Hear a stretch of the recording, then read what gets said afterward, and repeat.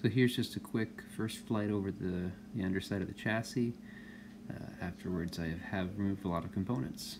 Up next. Alright, so I've gutted most of the components of the, well basically all of the radio components that were getting in the way. Should have a few minor things down here, here. It looks like they're on this side. Okay, after a lot of work, here is my current project in the state that it's in. We have this Stromberg Carlson 1052 model radio that underneath the chassis I've completely removed all the wires except for the wires that were attached from the power transformer to the rectifier tubes and a few of the 6.3 volt windings. Everything else has been rewired to basically match a Fender Champ 5F1, aside from some few minor modifications to fit this chassis. On the front we have a nice kind of wheat colored grill cloth, nice diamond pattern. Hiding behind there is a 5.5 inch speaker, Alnico, on off switch and a volume knob. I've removed the tuning peg there which operated the needle. Plans on putting something there but not nothing yet. And then hiding behind a little bit of wood recessed in there I do have a real quarter inch jack in the front of the panel there where there used to be a switch for the inputs and the the different radio A, A and B.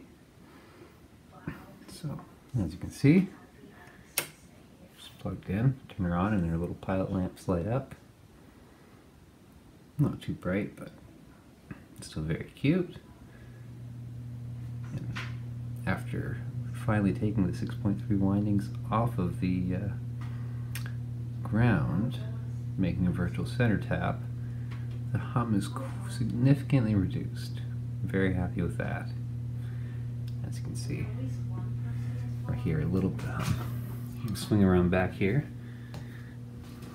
Okay, and yeah, back under the hood here, you can see I have a nice beefy power transformer my 5Y3 rectifier tube, my 6V6 tube, and then my two 6AV6 preamp tubes, which I'm only using the triodes of.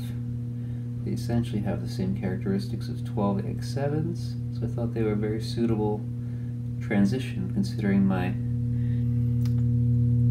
7 pin socket conundrum. As you can see, I have one socket available, I'm probably going to try a tube tremolo with that last tube. Inside here, a little bit of makeshift wiring for now, just to get the speaker hooked up until I put a jack on it. Here we have the original tube chart, which is incorrect as it stands because I have added a, in the place of the 6BA6, we're now using a 6AV6. That's another preamp. And then hiding back there as well, as well is that cute little Alnico speaker, Stromberg Carlson. It's 5.5 inches.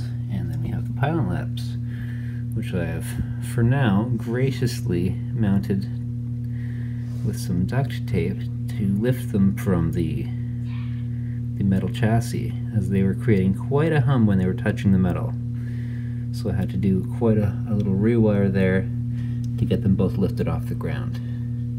As you can see, she's nice and warmed up. Okay.